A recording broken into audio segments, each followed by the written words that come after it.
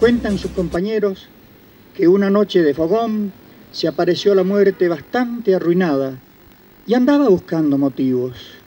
Lo miró todos y empezó a discutir con Tidor. Los peones se querían ir a dormir, pero el miedo se los impedía.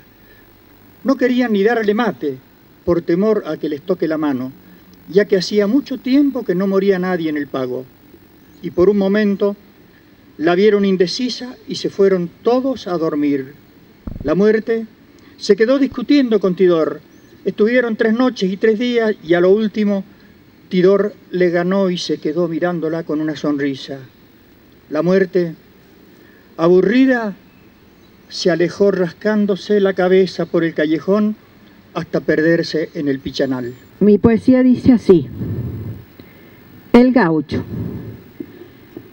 Sueños de poder y gloria te crearon en esta tierra. Sin embargo, tu vida en ella fue un injusto martirio, llevado sin dolor ni queja. Te usaron como una serpiente de escudo en las desérticas fronteras. Defendiste como una Dalit el norte de nuestro país, centauro de las pampas, prodigioso cantor de profundas payadas, libre y fuerte como un halcón.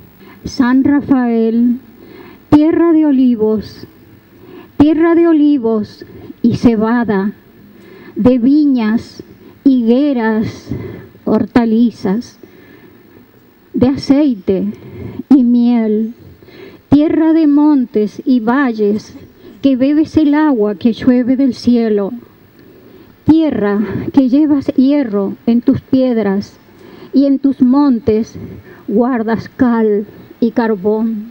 Leopoldo Lugones, con un arraigo profundo ¿no? y filosófico de lo argentino, necesitaba convencer, convencer en esa época, en 1913, a la élite del gobierno, Roque Sampeña y todos los que lo apoyaban, una élite que había olvidado a este personaje extinto en 1870, ¿no? una clase social eh, mayoritaria. En ese momento el gaucho era el 70% de la población argentina, directamente desaparecido a través de los fortines y de las guerras de los suelos argentinos.